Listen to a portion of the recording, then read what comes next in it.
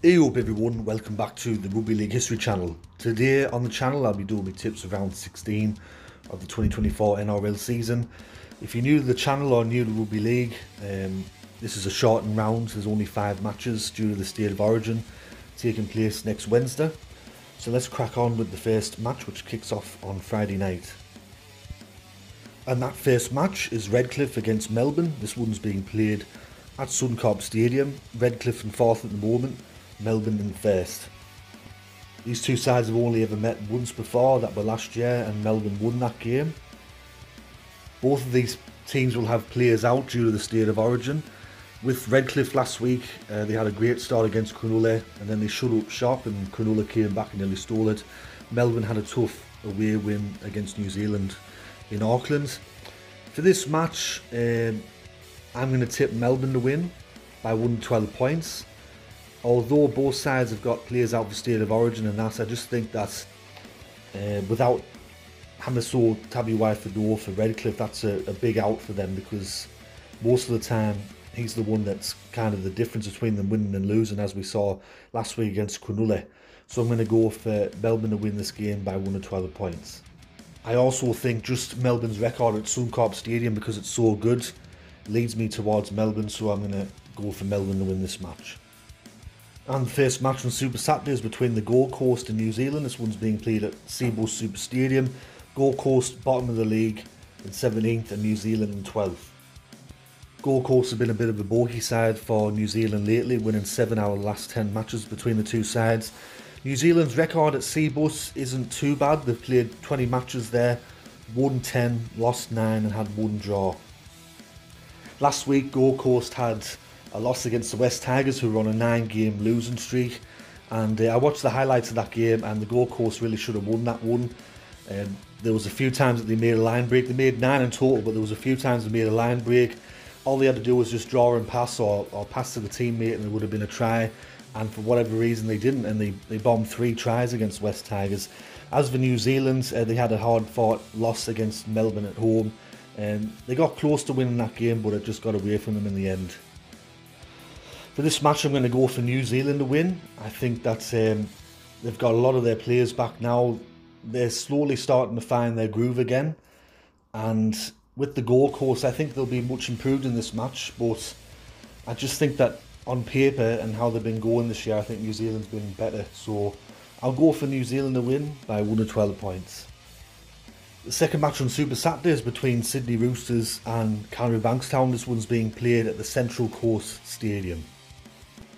In recent times, Eastern Suburbs have had the wood over Canterbury. They've won eight of the last ten matches against them in the league. However, earlier this year, the two sides had a very high scoring match where Canterbury came out on top. Sydney Roosters are currently fifth on the table at the moment, Canterbury in sixth. Canterbury coming to the game off the bye. East had a win over Parramatta. However, they did let a 16 point lead almost slip and turn into a loss.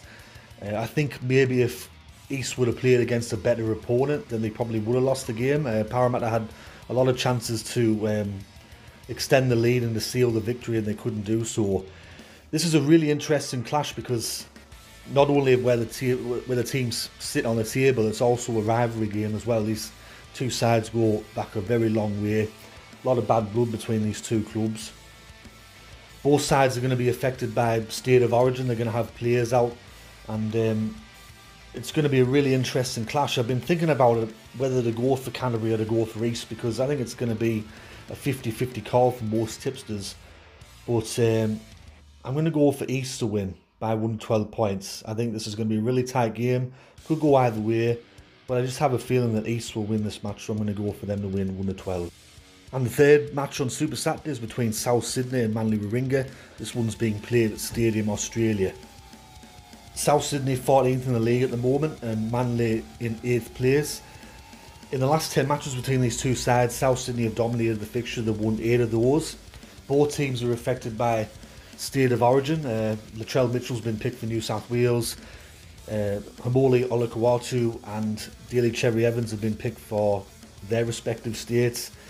It's um, it's going to be one of them games where you know both sides are going to have key players out.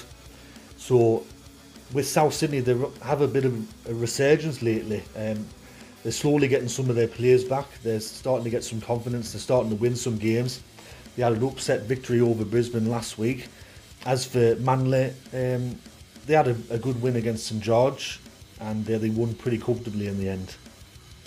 For this match, I'm leaning more towards South Sydney. I know that Latrell Mitchell's a big out for them for State of Origin, but for Manly, they're going to have no Jake Trbojevic, they're going to have no Olakau'atu or Cherry Evans, and um, people like to go on about Tom Trbojevic being the most important player for Manly, but I think Cherry Evans is the most important, and um, they're a totally different side without him.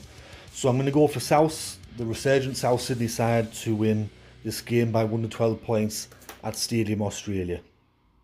And the final match to close out the round is between West Tigers and Canberra. This one's being played at Campbelltown Stadium. West Tigers in 16th place at the moment and Canberra 7th in the league. Canberra have won 8 matches in a row against West Tigers. The last time West Tigers defeated Canberra were in round 22 of the 2018 NRL season. And I think, you know, throughout their entire history, even when it went back to the Balmain days, Canberra always seemed to have the wood over the West Tigers. With Canberra's record at Campbelltown Stadium, they've played 24 matches there, they've had 10 wins, 13 losses, and one draw. Last week, with West Tigers, they broke a nine game losing streak against the Gold Coast. I watched the highlights of that game, and I think West Tigers were lucky to win. Gold Coast bombed three tries and uh, they made several line breaks against them and couldn't capitalise. And from all reports of people that watched the game, they said it was one of the worst matches of rugby league they've ever seen in their life. As for Canberra, they had a very disappointing loss against North Queensland at home. They were just outplayed and uh, they came back late in the match, but it was already too little too late.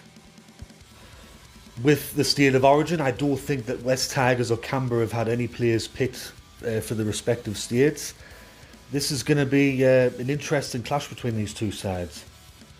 Can West Tigers win two games on the bounce and get further away from that wooden spoon? Or will Canberra bounce back after a disappointing performance? I'm going to go with the latter. I think that's Canberra on paper and how they've been going this year, been doing much better than West Tigers. I think Ricky Stuart will have them fired up for the game. He did say that he did um, pull aside the players that he thought were responsible for the loss against North Queensland had words with them. So I think that Canberra will be fired up for this game, and I'm going to go for Canberra to win 13 plus. So those are my tips around 16 of the 2024 NRL season. Hope you enjoyed the video. Let me know in the comment section below who you're tipping. Thanks to everyone that's been supporting the channel. Uh, once again, the video last week were one of the most watched tipping videos on YouTube. Thanks to everyone that tuned in and commented and liked the video. Anyways, this has been Rugby League history, and I will catch you all later in the next one. Alright, ta for now.